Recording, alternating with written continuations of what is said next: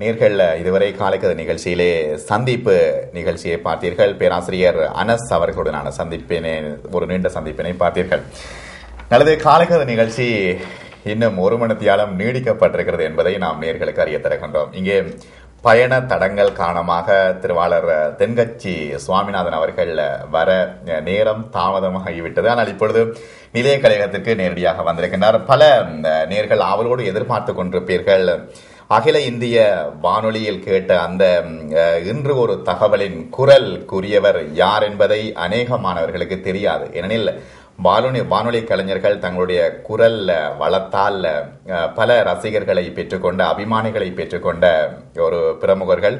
இந்த வகையிலே உண்மையிலே தொலைக்காட்சி ஊடகத்துக்கும் வானொலிக்கும் ஒரு பெரிய வேறுபாடு இருக்கிறது. அந்த காலத்தில் நாம் இந்திய வானொலியில் தேன்கிண்ணம் நிகழ்ச்சியை நாம் இரவு நேரங்களிலே மிக ஆவலோடு கேட்டிருக்கின்றோம். அந்த அனுபவங்கள் இப்பொழுதும் பசுமையாக இருக்கின்றது. அது மட்டுமல்ல முக்கியமான பல நிகழ்ச்சிகளை நாம் இந்திய வானொலியில் கேட்டிருக்கின்றோம். மன்னார் பக்கங்களுக்கும் மற்றும் யாழ்ப்பாண பக்கங்கள் தீவு பகுதிகளுக்கும் இந்த இந்திய வானொலியினுடைய சேவை கிடைத்து கொண்டிருந்தது.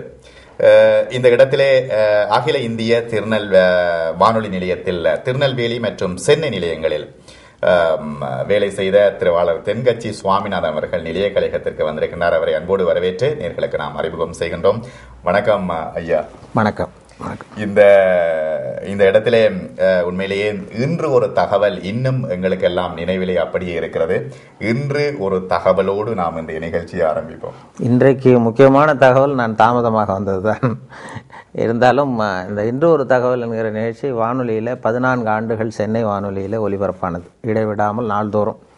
பதினாலு ஆண்டுகள் தொடர்ந்து ஒலிபரப்பானதுக்கு காரணம் என்னை வேறு எந்த நிலையத்துக்கும் மாற்றாமல் இருந்தது தான் காரணம்.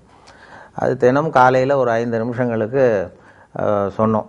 அது தொடங்கியதே ஒரு வேடிக்கையான விஷயம். நான் கேன்டீனில் வந்து சாப்பிட்டுக்கிட்டு இருக்கும்பொழுது சக ஊழியர்கள்ட்ட பேசிக்கிட்டு இருந்தேன்.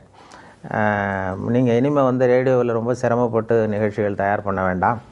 ஏன்னா தொலைக்காட்சி வந்து விட்டது அதனால் எல்லோரும் அதை தான் பார்க்க போகிறாங்க நாம் ஒன்றும் அதிகமாக சிரமப்பட வேண்டியதில்லைன்னு சொல்லிகிட்டு இருந்த வேடிக்கையாக இது எங்களுடைய இயக்குனர் காதுக்கு போயிட்டுது. உடனே அவர் கூப்பிட்டு இது மாதிரி பேசிக்கிட்டு இருந்தியாமேன்னாரு. ஆமாம் சார்ண்ணே காலை நாளையிலேருந்து உனக்கு ஐந்து நிமிஷம் காலையில் ஒரு நேரத்தை ஒதுக்கி தர்றோம். ஜனங்களுக்கு உபயோகமான விஷயத்தை சொல்லு அப்படின்னு சொல்லி என்கிட்ட ஒதுக்கி கொடுத்தார். இந்த தவளை தன் வாயால் கேடும்னு சொல்கிறாங்கல்ல அது மாதிரி அந்த கேன்டீனில் பேச போய் அவரை சொன்னேன். அவர் ஆரம்பிக்கும் பொழுதே இன்று ஒரு தகவல்னு ஆரம்பிக்கலாம். தினம் ஒரு அஞ்சு நிமிஷம் பேசினார். சார் இது நான் ஏற்கனவே விவசாய ஒலிபரப்பினுடைய பொறுப்பாளராக இருக்கிறேன். விவசாய நிகழ்ச்சிகளுடைய ஒலிபரப்பு பொறுப்பாளர். அதையும் பார்த்துக்கிட்டு இன்று ஒரு தகவலையும் சொல்கிறதுங்கிறது சிரமமாக இருக்கும். அதனால் ஒரு வாரம் ஒரு நேரம்னு வைத்துக்கொள்ளலாம்னு சொன்னேன். வாரத்துக்கு ஒரு நிகழ்ச்சியாக. இல்லை இல்லை நீயே சொல்ல வேண்டாம் தொடர்ந்து ஒரு மாதம் சொன்னால் போதும். அடுத்த மாதத்துக்கு வேறொரு பொறுப்பாளரை நியமிச்சுடலாம் அப்படின்னு சொல்லி தான் அவர் என்கிட்ட அந்த பொறுப்பை படித்தார் ஆயிரத்தி தொள்ளாயிரத்தி எண்பத்தெட்டு ஜூலை முதல் தேதி இதை தொடங்கணும்.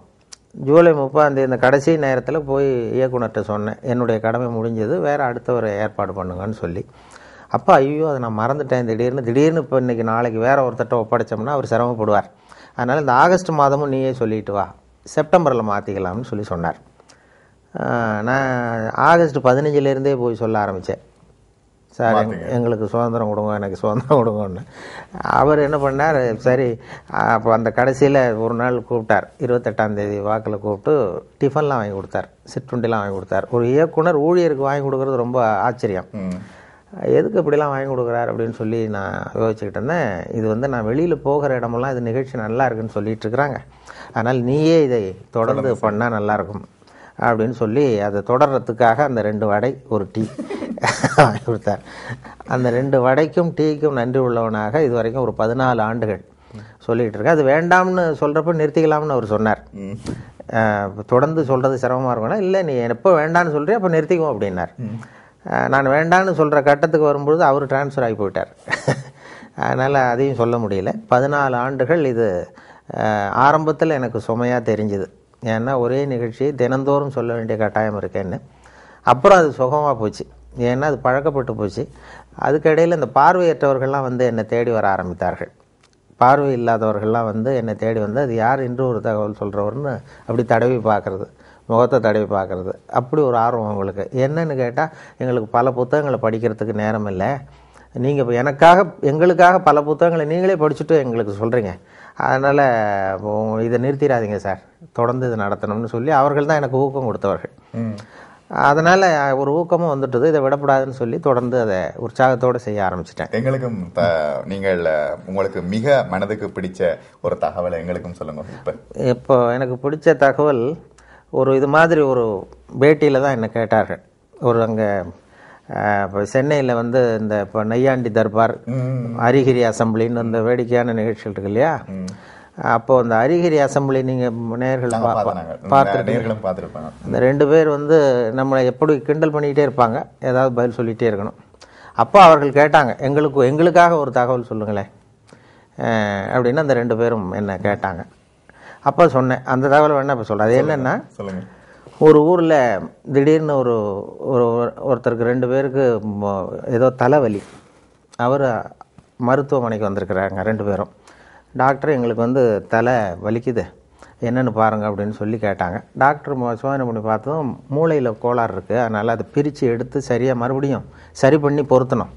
அதனால் உங்கள் ரெண்டு பேரும் இங்கே அட்மிட் பண்ணுறேன்னு சொல்லி அங்கேயே படுக்க வச்சு அந்த ரெண்டு பேருடைய தலையை திறந்து மூளையை தனியாக எடுத்துட்டார். எடுத்து கொண்டு போய் இது கொண்டு போயிட்டார் லேபரேட்டரி கொண்டு போனார். பரிசோதனை சாலை கொண்டு போய் அதில் சிகிச்சையெல்லாம் பண்ணி மறுபடியும் கொண்டு வந்து இதில் பொருத்திடுறேன்னு எடுத்துகிட்டு போயிட்டார். எல்லாம் சரி பண்ணி கொண்டு வந்து பார்த்தா அந்த ரெண்டு பேருமே காணும். இந்த வெறும் தலையோடு இருந்தாங்கல்ல எங்கேயும் ஆளே காணும். ஐயோ அந்த ரெண்டு பேரும் என்ன ஆச்சுன்னு சொல்லி அந்த ரெண்டு மூளையும் சரி செய்த மூளையை இது ஃப்ரிட்ஜில் வச்சுட்டார். குளிர்சாதன பெட்டியில் வச்சு அவங்க எப்போவாவது கண்டுபிடிச்சி அவங்களுக்கு பொருத்தி விடணும்னு சொல்லி வச்சுட்டார். அவங்கள தேடிட்டு இருக்கிறார் ஆளை காணுமே நம்ம ஆஸ்பத்திரி வந்து ரெண்டு பேர் இந்த வெறுந்தலையோடு ஓட்டானேன்னு சொல்லி ரொம்ப நாள் கழித்து ஒரு ஆறு ஏழு மாதம் கழித்து அவங்கள ஒரு கடத்தரில் ரெண்டு பேர் பிடிச்சிட்டாரு. இவரே டாக்டரே போய் பிடிச்சிட்டார்.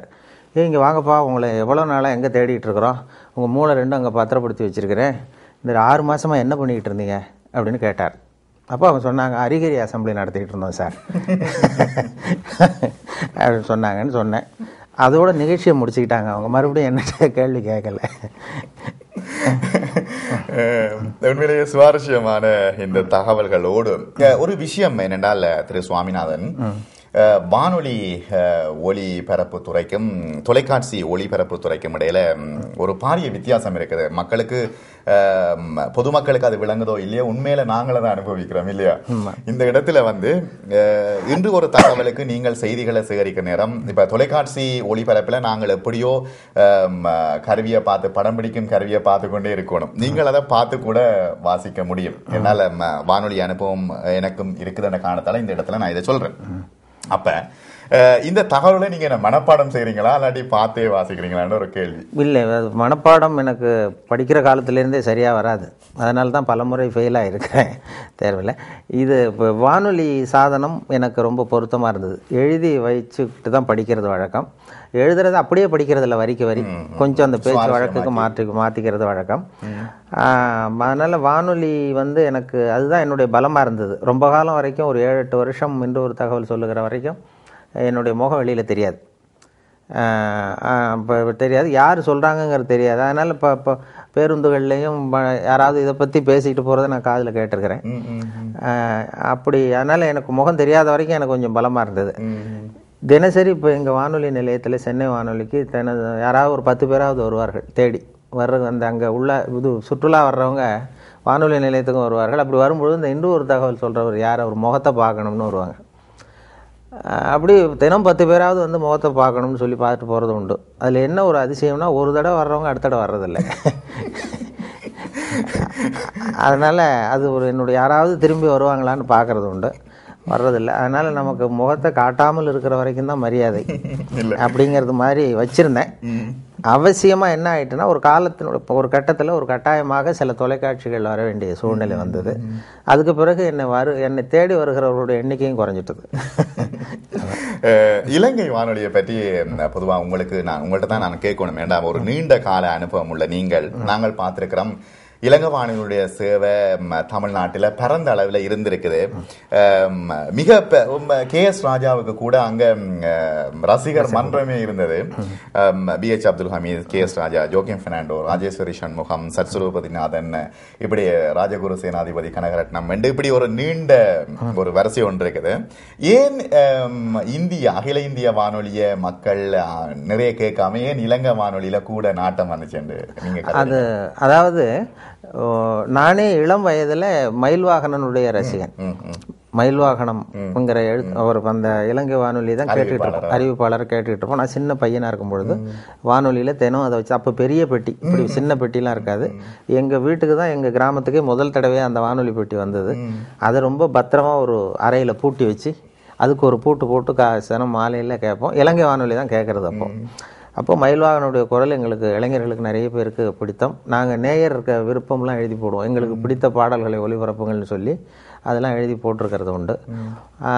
அவர்கள் சொல்றது அதில் அதுதான். இப்போ ஒலிபரப்புக்கு ஒலி ஒரு ஒலிபரப்பு எப்படி இருக்கணுமோ அப்படி இருந்தது. இலங்கை வானொலிங்கிறது தான் உண்மை. இந்திய வானொலியில் கொஞ்சம் அந்த செயற்கையான த செயற்கைத்தனங்கள் அதிகம் அது இருந்தது. அப்புறம் இப்போ காலப்போக்கில் இப்போ நாங்கள் மாற்றிட்டோம் ரொம்ப இயல்பாக பேசுகிற பழக்கத்துக்கு வந்துட்டோம். அதனால இலங்கை அறிவிப்பாளர்கள் எனக்கு வெள்ள இப்போ நேரடி பரிச்சயம் பிஹெச் அப்துல் ஹமீது என்னை நேரடியாக சந்திக்க வைத்தார்கள். ஒரு தொலைக்காட்சி நிகழ்ச்சிக்கு. முதல் மரியாதைன்னு ஒரு நிகழ்ச்சி தொடங்கி அந்த இந்திய தொலைக்காட்சியில் என்னையும் பிஹெச் அப்துல் ஹமீதையும் சந்தித்து ஒரு மணி நேர நிகழ்ச்சி ரெண்டு பேரையும் உரையாட வைத்து எடுத்தார்கள். அப்போ இப்போ- இப்போ இந்திய இந்த இது போன்ற கருத்துக்களை பரிமாறிக்கிட்டோம். அதனால இலங்கை வானொலி அறிவிப்புங்கிறது ரொம்ப இயல்பானதுங்கிறது உண்மை. இப்போ எங்களுக்கு என்னன்னா அந்த இப்போ வானொலியில மூன்று விதமா குரலை பயன்படுத்த சொல்லி பயிற்சி கொடுத்திருக்கிறார்கள். வானொலியில குரலை மட்டுமே உபயோகப்படுத்துகிறவர்கள் மூன்று விதமா பண்ணலாம்னு சொல்லி அதாவது ஒன்று அறிவிப்பு விவரிப்பு நடிப்புன்னு சொல்றது. அனௌன்ஸ்மெண்ட் ஆக்டிங் நடுவில் நேரேஷன் அப்படின்னு சொல்லி பிரித்து கொடுத்துருக்குறாங்க. அறிவிப்புன்னு வரும்பொழுது ஒன்றை அறிவிக்கும் பொழுது என்னுடைய அபிப்பிராயம் என்னங்கிறது தெரியப்படாது. உண்மை, அதாவது துக்ககரமான அறிவிப்பு ஒரு செய்தி வாசிக்கும் பொழுது துக்ககரமா இருந்தாலும் நீ நீங்கள் அழக்கூடாது நாங்கள் அழக்கூடாது. சந்தோஷமா இருந்தாலும் சிரிக்க கூடாது ஒரு ஒரு ஒரு அறிவிப்பாளருடைய தகப்பனார் அமைச்சர்னு வைங்களேன். அந்த அமைச்சர் அன்று காலையில கொல்லப்பட்டிருக்கிறார்னு வச்சுக்கோங்க. சுட்டு கொல்லப்பட்டார். அந்த செய்தியை அந்த அமைச்சருடைய மகன் அறிவிப்பாளராக இருந்து வாசிக்கிறார். அவர் அழக்கூடாது. அதாவது சுட்டுக் கொல்லப்பட்டு தன்னுடைய தந்தைங்கிற உணர்வு ஒரு முகத்தில் தெரியக்கூடாது. அந்த அறிவிப்புல தன்னுடைய ஈடுபாடு தன்னுடைய அபிப்பிராயம் அல்லது ரெண்டு நாடுகளுக்கு இடையே போர் அதில் அதை பற்றி அறிவிக்கிறோம். நாம் வந்து எந்த நாட்டுக்கு சார்போ அல்லது அதுக்கு ஆதரவாளனா இல்லையா அப்படிங்கிறது தெரியக்கூடாது. ம், ம், ம், ம். இப்போ பீகாரில் வெள்ளம்னு படிக்கிறோம். வெள்ளம் வந்துட்டுதேங்கிறது நம்ம அழுதுகிட்டே படிக்கக்கூடாது. விவசாய அறிவிப்பில் ஒரு பூச்சி விழுந்துட்டுது அந்த பூச்சிக்கு பாதிப்பு அதிகமாக இருக்குங்கிறதுனால நம்ம சோகத்தை காட்டக்கூடாது. இது அறிவிப்பில் உள்ளது. நடிப்பில் நான் நானாக இருக்கிறது இல்லை கம்ப்ளீட்டாக நான் வீரபாண்டிய கட்டபொம்மன்னா அது கட்டபொம்மனாவே மாறிடுறோம். இது ரெண்டுக்கும் இடைப்பட்டது விவரிப்புங்கிற இதில் கொண்டு வராங்க. விவரிப்பு என்னென்னா ஒரு இப்போ கிரிக்கெட் கமெண்ட்ரி அப்போ லேசாக உற்சாகத்தை காட்டலாம். ஒரு உற்சாகமான நேரங்களில். அல்லது ஒருத்தர் ஒரு பெரிய தலைவர் இறந்துட்டார் அதுக்கு நேர்முக வர்ணனை கொடுக்குறோம். இப்போ நான் வந்து எம்ஜிஆர் இருந்த பொழுது நான் நேரடி வர்ணனை கொடுத்தேன். அந்த கடைசியாக அந்த அடக்கம் பண்ணுகிற இடத்துல நான் இருந்தேன். அது மாதிரி வர்ணனை கொடுக்கும் பொழுது கொஞ்சம் அந்த சோகமும் இழைய விடணும் அதில் நம்முடைய உணர்வையும் காட்டணும் இல்லையா. சுத்தமாக அறிவிப்பு மாதிரி எனக்கு அதுக்கு சம்பந்தம் இல்லைங்கிறது மாதிரி சொல்லக்கூடாது. இருக்கக்கூடாது. அதனால மூன்று வகையை பிரித்து இந்த குரலை வந்து வெளிப்படுத்தும்படியாக எங்களுக்கு பயிற்சி கொடுத்தார்கள். அதனுடைய விளைவு தான் என்னன்னா பல இடங்களில் நாங்கள் எங்களுக்கு சம்பந்தம் இல்லாத மாதிரியே சொல்ல ஆரம்பித்தோம். அதுதான் நீங்கள் கேட்ட கேள்வி. அது அதனால இப்போ இலங்கை வானொலியில் அப்படி இல்லை. அந்த இது மாதிரியான பிரிவில் உற்சாகமாக நீங்கள் என்ன நினைக்கிறீர்களோ உற்சாகமாக சொல்லலாம். அதுதான் கேட்பதற்கும் சுவாரஸ்யமாக இருக்கும். நான் நினைக்கிறேன் அந்த காலத்துல இலங்கை வானொலியில ஒரு நல்ல ஒரு ஒரு சுதந்திரமாக நீங்கள் ம, செயல்படக்கூடிய தன்மை வந்துச்சுது. போக போக தான் அரசியல் பூந்து பூந்தாலும் கூட சில சுதந்திரங்கள் இன்னும் இருக்குது. அஹ், இப்ப இலங்கை வானொலி அறிவிப்பாளர்கள் பரவலா உலகம் எங்கும் இருக்கிற நேரத்துல இலங்கை வானொலி என்று சொன்னால் அது தெரியும் தனியாக இலங்கை வானொலி அறிவிப்பாளர்கள். நன்றி ஐயா. அடுத்தது வந்து இந்த தொலைக்காட்சி வந்த பிறகு வந்து வானொலியினுடைய தாக்கம் மக்கள் மத்தியில குறைஞ்சிருக்குதா. இது இந்த பயம் வந்து எங்களுக்கு இருந்தது ஆரம்பத்தில். ஆனால் எங்களுக்கு வருகிற விளம்பர வருவாய் குறையல. அது என்னன்னு காரணம்னு பார்த்தா ஒரு புள்ளி விவரம் சேகரித்தார்கள் இந்தியாவில். அதாவது ஊடகங்கள் எந்த அளவுக்கு மக்களை சென்று அடைகின்றனன்னு சொல்லி. பத்திரிகை வானொலி தொலைக்காட்சி. இதில் வந்து ரொம்ப புகழ்பெற்ற மீடியா பாப்புலர் மீடியாங்கிறது தொலைக்காட்சி. ஆனால் அதிகமாக ரீச் ஆகிறது ரேடியோங்கிறது அந்த முடிவு. பாப்புலாரிட்டிக்கும் அதிகமாக ரீச் ஆகிறதுக்கும் என்ன சம்மந்தம் இல்லாமல் இருக்கேன்னு நீங்கள் யோசிக்கலாம். ஒரு விளம்பரத்தை தொலைக்காட்சியில் கொடுக்கும் பொழுது அந்த தொலைக்காட்சியை பார்க்கிறவர்களுக்கு அது போய் சேர்ந்துருது அந்த விளம்பரம். அதே விளம்பரத்தை ரேடியோவில் கொடுக்கும்பொழுது ரேடியோவை கேட்காதவர்களுக்கும் போய் சேருது. எப்படின்னா ஒரு தேநீர் கடையில் தேநீர் அருந்துறதுக்காக ஒரு பத்து பேர் நின்றுட்டுருப்பாங்க அவங்களுடைய நோக்கம் ரேடியோ கேட்கணுங்கிறது இல்லை. டீ சாப்பிடணுங்கிறது தான் நோக்கம். அவங்கள அறியாமலே ஒரு விளம்பரம் பத்து பேர் காதில் விழுந்துருது.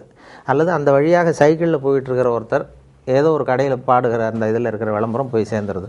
அதனால் அதிகமாக எண்பத்தேழு சதவீதம் வந்து வானொலி விளம் விளம்பரங்கள் வந்து சென்று அடைகின்றனங்கிறது ஒரு புள்ளி வரும். அந்த பலத்தில் தான் இப்போ வானொலி போய்கிட்டு இருக்கு நாங்கள் வந்து அதனால தான் அந்த வானொலியினுடைய இது விளம்பரங்கள் வருவாய் குறையாம போயிட்டு இருக்கோம் ம். இந்த இன்னும் ஒரு தகவல் உண்டு.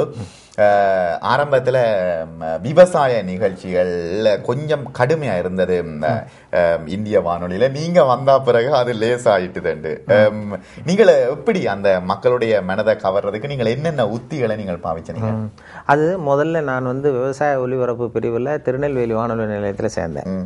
அப்போ சேர்ந்த புதுசில் ஒரு அறிவிப்பை கொடுத்து விவசாயிகளுக்கு உழவர்களுக்கு இந்த அறிவிப்பை சொல்லுங்கள்னு எனக்கு பொறுப்பு ஒப்படைச்சாங்க. படிச்சுட்டு என்னோட நான் இப்போ என்ன பண்ணேன் அதில் என்ன எழுதியிருந்ததுன்னா அதை அப்படியே படிக்க சொல்லி கொடுத்தார்கள் அதில் என்ன எழுதியிருந்ததுன்னா இப்போ திருநெல்வேலி மாவட்டம் புளியங்குடி வட்டார விவசாயிகள் கவனத்திற்கு ஒரு செய்தி.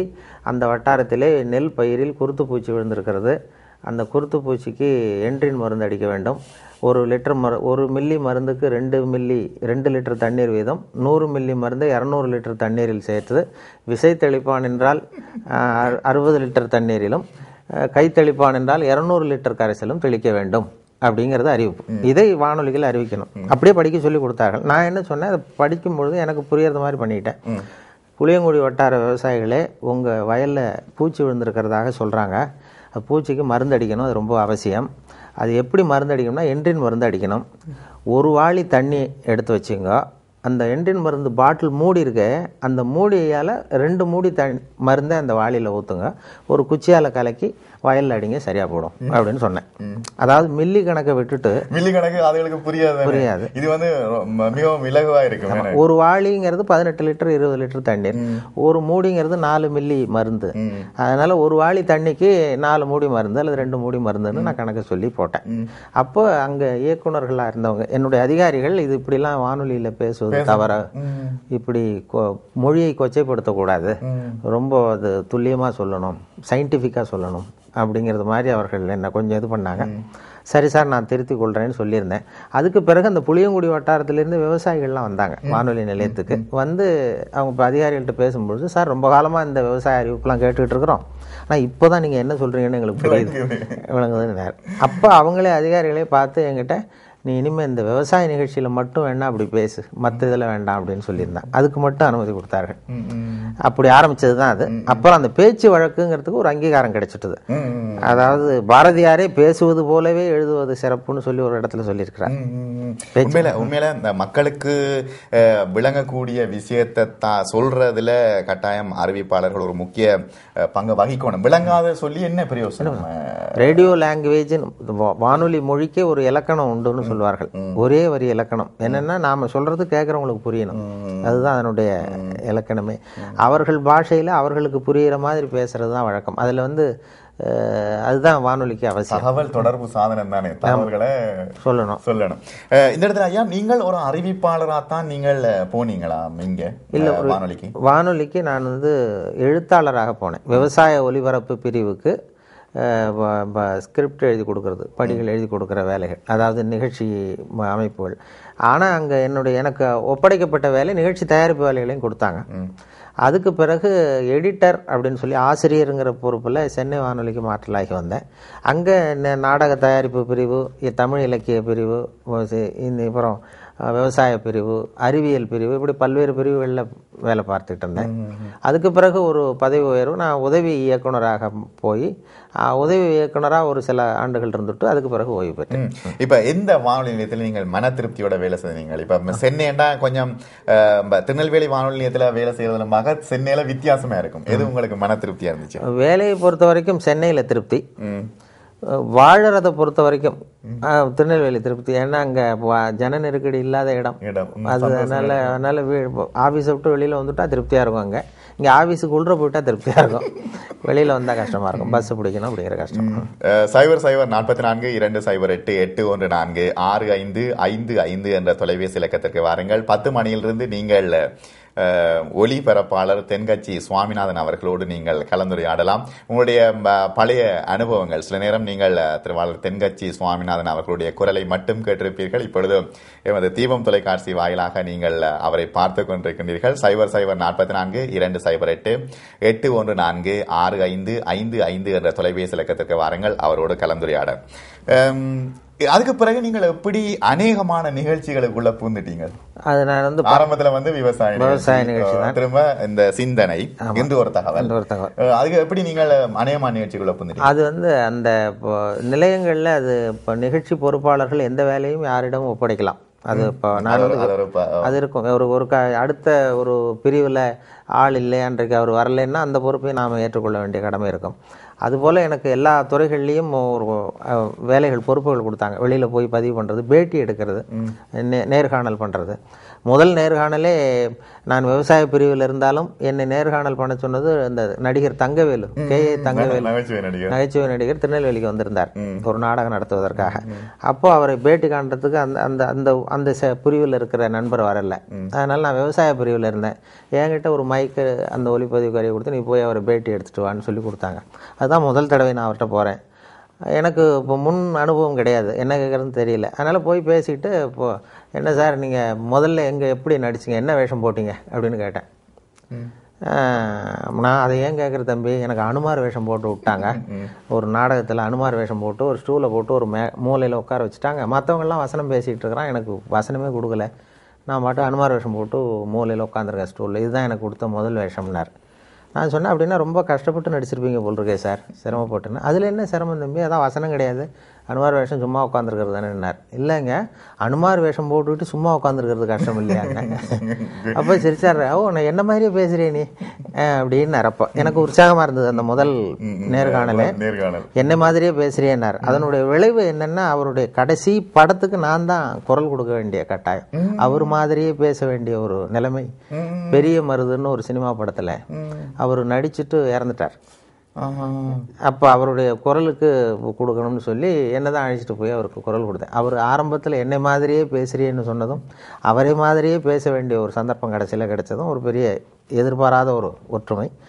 அவர் கலந்து கொண்ட கடைசி நிகழ்ச்சி கூட என்னுடைய மகளுடைய திருமணம் தான் சந்தோஷமான விஷயம். இந்த இடத்துல மேட பேச்சுக்கு இப்ப எப்படி வரவேற்பு இருக்கு? காரணம் என்னடா இப்ப இப்பொழுது வந்து தொலைக்காட்சி வானொலி பத்திரிகை இன்டர்நெட் இணையம் அது இதண்டு இப்ப நிறைய ஆக்களை கொண்டு போய் தொழில்நுட்ப ரீதியாக நாங்கள் அமைக்கி கொண்டிருக்கிறோம். மேட பேச்சுக்கு இப்ப என்ன வரவேற்பு இருக்கு? மேடை பேச்சு ரொம்ப ஒரு அசௌகரியமான நிலை தான் இப்போ எனக்கு வந்து நான் ரேடியோவில் தான் பேசி பழக்கமே தவிர மேடையில் அனுபவம் இல்லை. ஆனால் ரேடியோவில் பேசுகிறதுனால இவர் மேடையிலையும் பேசுவார் போல் இருக்குன்னு சொல்லி கட்டாயப்படுத்தி கொண்டு போய் மேடை ஏற்றி விட்டாங்க. அதனுடைய விளைவு தான் அப்படி பேசிட்டு இருக்கிறது. மேடையில் இப்போ ரொம்ப நேரம் பேசுகிறவர்கள்லாம் குறைச்சல். முன்னாடிலாம் மணிக்கணக்கில் பேசிக்கிட்டு இருந்தால் பொறுமையாக கேட்பாங்க. இப்போ வந்து இப்போ எல்லாமே சு சுருக்கமாக முடியணுங்கிறது மாதிரி. இந்த ஒரு தகவலே கொஞ்சம் புகழ்பெற்றது காரணம் சுருக்கமாக முடியறதும் ஒரு காரணம். ஐந்து நிமிஷங்களில் முடிச்சுக்கிறோம். அதே தினம் ஒரு மணி நேரம் இன்னொரு தகவல் சொல்கிறேன் அப்படின்னு ஆரம்பிக்கிறதா வச்சுக்குவோம். பொறுமையாக கேட்க மாட்டாங்க. அதனால் மேடை பேச்சுங்கிறது இப்போ ரொம்ப ரொம்ப நேரம் பொறுமையாக உட்கார்ந்துருக்கிற மனோபாவம் இல்லை. அதனால தான் வேடிக்கையாக கூட சொல்லுவாங்க. ஒரு மேடை பேச்சாளர் ரொம்ப நேரம் பேசிகிட்டு இருந்துட்டாராம். பேசிகிட்டு இருந்துட்டு ரொம்ப சார் மன்னிச்சிங்க சார் நான் கடிகாரத்தை கூட பார்க்க மறந்துட்டேன் இருக்கார் கேட்டுக்கிட்டு இருந்தவர் சொன்னாராம் ஏன் ஏன் கடிகாரத்தை தான் பார்க்க மறந்தேன் பின்னாடி மாட்டிருக்கிற கேலண்டரையாவது பார்க்கக்கூடாதா அப்படின்னாராம். அப்படின்னா வாரக்கணக்கில் பேசிகிட்டு இருக்கிறான்னு அர்த்தம். அப்படி அந்த பொறுமை இழந்த எல்லாம் அவசர யுகம். அதனால் எதையும் சுருக்கமாக தெளிவாக சொல்வது முக்கியங்கிற நிலைமை வந்துட்டுது. அதனால் மேடை பேச்சுக்கு வரவேற்பு இருக்குது தமிழகத்திலையும் சரி. அதிக நேரம் காத்துக்கிட்டு இருக்கிறதுக்கு மக்கள் தயாராக இல்லை. ம். இவ்வளவு பிரபல்யமான தென்கட்சி சுவாமிநாதனை அரசியல் இழுத்ததா? அரசியல் வந்து இல்லை. இளம் வயதில் எனக்கு அந்த சில பொது உடைமை கட்சிகள் ஈடுபாடு இருந்தது. மாணவ பருவத்தில். அதன் பிறகு இதுவரைக்கும் எந்த கட்சியிலுமே இப்போ இதுவரைக்கும் ஈடுபட்டதில்லை. நிர்பந்தம் வரல ஆமாம் நிர்பந்தம் வாங்க நீங்க அரசியல்ல ஈடுபடுங்க அது இளம் வயசில் வந்து நான் கொஞ்ச காலம் வந்து படித்து முடிச்சுட்டு விவசாய அதிகாரியாக மூன்று வருஷம் இருந்தேன். அதுக்கு பிறகு உள்ளூர் பஞ்சாயத்து போர்டு பிரசிடெண்ட்டாக இருந்தேன். ஊராட்சி மன்ற தலைவராக ஏழு வருஷம் இருந்தேன். ஆயிரத்தி தொள்ளாயிரத்தி எழுபதுலேருந்து எழுபத்தேழு வரைக்கும். அப்போ எலெக்ஷனில் நின்னேன் உள்ளூரில். கட்சி சார்பு இல்லாமல் நின்று உள்ளாட்சி மன்ற தலைவராக இருந்தேன். அப்போ சில அரசியல் கட்சிகள்லாம் வாங்க அப்படின்னு சொல்லி இப்போ இந்த எம்ஜிஆர் அப்போ தான் புதுசாக கட்சி தொடங்கியிருந்தார் அதிமுகன்னு சொல்லி. அந்த கட்சி அமைப்பாளர்கள் கிராம பகுதியில் உள்ள படித்த இளைஞர்களை எல்லாம் கட்சியில் சேர்க்கணும்னு முயற்சி பண்ணாங்க. அப்போ என்னையும் சேர சொல்லி கேட்டாங்க. அது அப்போ எனக்கு அரசியல் ஈடுபாடு இல்லை விவசாயத்தில் தீவிரமான சொந்த விவசாயம் பண்ணிட்டு இருக்கேன் ஊரில். எங்கள் தகப்பனாருக்கும் அது அதில் விருப்பம் இல்லை அரசியல் ஈடுபடுறதுக்கு. அதனால் நான் அந்த அந்த அப்போ நான் சேரலை. இப்போ ஒரு நிகழ்ச்சி பத்திரிகையில் கேட்டாங்க. இது ஏன் சார் அப்போ நீங்கள் சேர்ந்துருந்தா இன்னைக்கு ஒரு பெரிய மந்திரி ஆயிருக்கலாமே அப்படின்னு ஒருத்தர் கேட்டார். மந்திரியும் ஆயிருக்கலாம் அதுக்கப்புறம் ஜெயிலுக்கும் போயிருக்கலாம். அந்த அளவுக்கு வந்திருப்பேன் அப்படின்னு சொல்லி இந்த பொதுவாக வானொலி நிகழ்ச்சிகளோட நீங்கள் நிறுத்தி கொண்டீங்களா? அல்லது தொலைக்காட்சி நிகழ்ச்சிகளையும் நீங்கள் செய்திருக்கிறீங்களா? தொலைக்காட்சி நிகழ்ச்சிகள் இப்போ நண்பர்கள் வந்து கூப்பிட்டது தான் ஏன்னா வானொலி நிலையத்தில் இருந்த நண்பர்கள் பிறகு தொலைக்காட்சி நிலையத்துக்கு போனாங்க. அதனால அந்த நட்பு காரணமாக பல பேர் பல நிகழ்ச்சிகள் இது மாதிரியான நேர்காணலுக்கு. இப்போ செய்கிறீர்கள் இதே போல ஒரு நேரடி ஒளிபரப்புக்கு. அதுக்கெல்லாம் இப்போ கூப்பிடுறது உண்டு. இன்னொரு விஷயம் வானொலியில் ஒரு இப்போ சென்னை வானொலியில் ஒரு ஐந்தாண்டு காலமாக நீங்கள் இப்போ என்ன செய்து கொண்டிருக்கிறீர்களோ அதே வேலையை தான் நான் செஞ்சுக்கிட்டு இருந்தேன். அந்த நேரடி ஒளிபரப்பு தினசரி மூணுலேருந்து நாலு மணி வரைக்கும். மதியம் மூன்று முதல் நான்கு மணி வரை வண்ண மணிமாலைன்னு ஒரு நிகழ்ச்சி பண்ணுவோம். அதில் ஒரு பிரமுகரை கூப்பிட்டு ஒரு டாக்டர் கூப்பிடுறது வக்கீலை கூப்பிடுறது தமிழறிஞர்களை கூப்பிடுறது. நான் வந்து தொடர்பாளராக உங்களை மாதிரி பண்ணிட்டு இருந்தேன். அதுதான் என்னுடைய இதுங்க சென்னை வானொலியில் அதை பண்ணிட்டு இருந்தோம். தொலைக்காட்சியில் அப்பப்போ ஏதாவது அழைப்பு வரும்பொழுது அதை ஏற்றுக்கொள்வது உண்டு இப்போ சன் தொலைக்காட்சியில் இந்த நாள் இனிய நாள் நிகழ்ச்சியை திங்கள் முதல் வெள்ளி வரை சொல்லிட்டு இருக்கிறோம் நீங்கள் சொன்னீங்க பஞ்சாயத்து போர்ட்ல இருந்ததுண்டு அது என்ன? உண்மையிலேயே அது அந்த அந்த கிராமத்துல உள்ள நீதி நிர்வாகங்களை கவனிக்கிறதா? அதுக்கு என்ன வலு இருக்குது? அதாவது அந்த கிராமத்தை பொறுத்த வரைக்கும் ஒரு அதுதான் நிர்வாக அமைப்பு. கிராமத்தினுடைய தேவைகள் என்னவோ அதையெல்லாம் நாமே செய்து கொள்ளலாம். இப்போ தெருவில் விளக்கு இல்லை. அல்லது சாலை வசதி இல்லை. குடிதண்ணீர் வசதி இல்லை அப்படின்னா அதுக்கான பண உதவி அரசாங்கம் பண்ணுது. அதை நமக்கு என்ன தேவைங்கிறத ஒரு தீர்மானமாக போட்டு அதுக்கான வழிமுறைகளோடு அதை செஞ்சுக்கலாம். கிராமத்தினுடைய தேவைகளை நிறைவு செய்து கொள்ளலாம். நீதி நிர்வாகம் தொடர்பான இதுகளில் நீதி இல்லை. அதாவது இப்போ ஒரு விவகாரம்னா ஒன்று போலீஸுக்கு போகும் அல்லது கோர்ட்டுக்கு போகும். அது வேற மற்றபடி பேச்சுவார்த்தையில் இப்போ நடந்து முடிச்சுக்கிறது உண்டு. சின்ன சின்ன தகராறுகளை தீர்த்து வைக்க வேண்டிய அவசியம் இருக்கும். அதாவது இப்போ சின்ன ஒரு வேலி தகராறு அல்லது ஒரு கணவன் மனைவிக்குள்ள தகராறு இப்படிலாம் கூட வரும். இவங்களெல்லாம் கோர்ட்டுக்கோ போலீஸுக்கோ அனுப்ப வேண்டியது இல்லையே. நாங்களே பேசி ஒரு நாலு பேர் உட்காந்து பேசி தீர்த்து வச்சிருவோம். இன்னும் ஒரு இன்னும் ஒரு தகவல் சொல்லுங்க. இன்னும் ஒரு தகவல் சொல்லுங்க. தகவல் வந்து எப்படின்னா நாங்கள் வந்து எந்த த செய்தியை சொன்னாலும் அதில் ஒரு கதையாக சொல்லிடுறது. தகவலுடைய வடிவமே அப்படித்தான். அஹ் ஒரு என்கிட்ட ஒரு செய்தியை கொடுத்துருவாங்க. அதனுடைய வடிவம் அதை வந்து ஒரு கதை மாதிரி வடிவத்தை உண்டு பண்ணிடுறோம். இப்போ உதாரணத்துக்கு இப்போ மக்கள் தொகை அதிகமாக போயிட்டுது. பாப்புலேஷன் எக்ஸ்ப்ளோஷன் அப்படின்னு இருக்குது அதை பண்ணுவாங்க. அல்லது இப்போ அந்த சர்வதேச சகிப்புத்தன்மை ஆண்டுன்னு வந்தது. அதாவது இன்டர்நேஷனல் இயர் ஆஃப் டாலரன்ஸ் அப்படின்னு ஆயிரத்தி தொள்ளாயிரத்தி தொண்ணூத்தைந்தாவது வருஷம். நாடுகளுக்கு இடையே சகிப்புத்தன்மை வேண்டும் மனிதர்களுக்கு இடையே சகிப்புத்தன்மை வேண்டும்னு. அப்போ என்னுடைய இயக்குனர் கூப்பிட்டு இன்னைக்கு சர்வதேச சகிப்புத்தன்மை ஆண்டினுடைய நாள். அதனால அதை பற்றி ஏதாவது இன்று ஒரு தகவல் சொல்லு அப்படின்னு சொல்லி சொன்னார். சகிப்புத்தன்மையை வலியுறுத்துறது மாதிரி சொல்லணும். இவ்வளவு காலம் இன்று ஒரு தகவல் கேட்டுட்டு இருக்கிறதே ஒரு சகிப்புத்தன்மை வளர்த்துருக்குமே சார் அப்படின்னு சொன்னேன். இல்லை அது இல்லை இன்றைக்கு ஏதாவது சிறப்பாக ஏதாவது சொல்லு அப்படின்னார். அப்போ ஒரு கதை மாதிரி பண்ணிடும் அதாவது ச சகிப்புத்தன்மை ஆண்டுங்கிற அந்த செய்தியே நடுவில் ஏதாவது ஒரு இடத்துல சொல்லிட்டு ஒரு கதையை உண்டு பண்ணிடுறது நான் உண்டு பண்ண கதை என்னன்னா ஒரு டாக்டர் ரூமில் இருக்கார். வெளியில் வரிசையாக பெஞ்சு போட்டிருக்கு. அதில் வந்து நாற்பது பேர் உட்காந்துருக்குறாங்க நாற்பது பேர் வாயிலையும் நாற்பது தெர்மாமீட்டர் இருக்கு. நாற்பது பேர் சட்டையை கட்டி சுருட்டி சுட்டி வச்சிருக்கிறான் பக்கத்தில். நாற்பது பேர் வரிசையாக டாக்டர் பார்க்கறதா தெர்மாமீட்டரோட உட்காந்துருக்காங்க அதே தெருவில் ஒருத்தன் கேலண்டர் மாட்டுறதுக்கு ஆணி அடிச்சிருக்கான் விரல்ல பட்டு போச்சு சுத்தியல். சரி நம்ம தெரு டாக்டர் தானேன்னு ஓடி வந்திருக்கான். அந்த நர்ஸ் என்ன சொல்லி நீ நாற்பத்தி ஓராவது ஆளா உட்கார். அப்படின்னு. இல்லைம்மா விரல் தானேன்னு இருக்கான் அதெல்லாம் கே இங்கே ரூல்னா ரூல் தான் உட்கார். உட்காந்தான் சட்டையை கட்டுன்னு இருக்கு. மறுபடியும் விரலை காட்டியிருக்கான். அதெல்லாம் கிடையாது நீ சட்டையை கட்டி வை. எல்லாரையும் பாருன்னு கட்டி வச்சுட்டான். வாயை தரேன்னு திறந்தான் ஒரு தெர்மாமீட்டர் வச்சுட்டு ஓடி போச்சு. தெர்மாமீட்டர் வச்சுக்கிட்டே விரலை பார்த்துட்டு உட்காந்துருக்கான் இது எது இதுக்கு இதுக்கு போய் எதுக்கு தெர்மாமீட்டர் வைக்கிறாங்க? அவன் விரலும் நசுங்கியிருக்கான்னு பார்த்தா அதெல்லாம் நல்லாயிருக்கு எதுக்கு வந்தேன்னு கேட்கணும்னு பார்க்குறான் வாயை திறக்க முடியல. இவன் கேட்கறது அதேமாதிரி நாற்பது பேரும் பேசுகிறதுக்கு தயாராக இருக்கான். நாற்பது கதையோடு உட்காந்துருக்குறான் ஆனால் அவங்களால வாயை திறக்க முடியல. தெர்மாமீட்டர் இருக்குது கண்ணு செவந்திருக்கு பலூன் மாதிரி உப்பிருக்கு வாய். அப்படியே சகிச்சுட்டு உட்காந்துருக்கான் ஒரு பதினஞ்சு நிமிஷம் கழித்து நர்ஸு ஓடி வந்து எல்லா தெர்மாமீட்டரையும் எடுத்து அவங்களுக்கு டெம்பரேச்சர் அதனுடைய வெப்பநிலை என்ன உங்கள் பேர் என்னன்னு குறித்து ரிஜிஸ்டரில் பதிவு பண்ணிவிட்டு டாக்டர் ரூமுக்கு ஓடி போச்சு தெர்மாமீட்டர் எடுத்த பிறகு இவன் பேச ஆரம்பித்தான் இந்த நாற்பத்தி ஓராவது ஆள் விரல் நசுக்கன். உலகம் ரொம்ப கெட்டு போச்சுப்பா எதுக்கு தெர்மாமீட்டர் வச்சு பார்க்கறதுன்னா இது விவசாயம் இல்லாமல் போச்சு. ஒரு டாக்டர் மேலே எனக்கு சந்தேகமாக இருக்குது இதுக்கு போய் தெர்மாமீட்டர் வச்சு பார்க்குறாரு. இது ரொம்ப அக்கிரமம் அநியாயம் அப்படின்னு கத்துறான். இதுக்கு முந்தின ஆள் இருக்கான நாற்பதாவது ஆள் அவன் அட்வைஸ் பண்ணுறான் அறிவுரை சார் இது வந்து சர்வதேச சகிப்புத்தன்மை ஆண்டு. இப்போ தான் விஷயம் மெசேஜை சொல்கிறோம் சர்வதேச சகிப்புத்தன்மை ஆண்டுன்னு இன்னைக்கு கொண்டாடுறோம். இது மாதிரி இடத்துல தான் நாம் சகிப்புத்தன்மையை வளர்த்துக்கணும். இப்படிலாம் அதிக பிரசங்கத்தனமாக கத்தப்படாது. மரியாதையாக உட்கார் அப்படின்றான். அப்படி சொன்னது இவனுக்கு ரொம்ப கோவம் வந்துட்டுது நீ இவ்வளோ புத்தி சொல்கிறேடா நீ எதுக்கு வந்த? அப்படின்னு. நான் தபால் கொடுக்க வந்தவையா தினம் இப்படி வருவேன் சட்டையை கேட்ட சொல்லுவாங்க.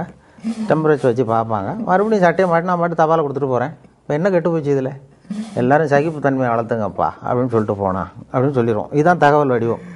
சகிப்புத்தன்மைங்கிறத பற்றி நடுவில் ஒருத்தர் சொல்லுவது மாதிரி அந்த மெசேஜையும் சொல்லிட்டு செய்தியை ஒரு கதையை உண்டு பண்ணிடுறது. ம், அற்புதமா இருக்குது. இதுல இந்த உங்களோட இந்த தொகுப்புகளை வந்து நீங்கள் ஒரு ப- புத்தகமா அடிச்சு வெளியிட்ட வெளி வெளி வெளியிட்டீங்களா? அல்லது வெளியிட வேணும்?